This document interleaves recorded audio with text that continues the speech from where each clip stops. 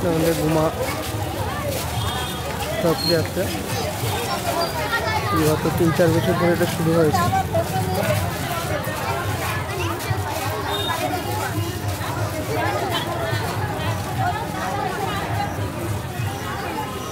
ভিড় দেখতে পাচ্ছেন। প্রচুর ফ্ল্যাট থেকে প্রায় হাফ কিলোমিটার রাস্তা জুড়ে ওরা চলে গেছে।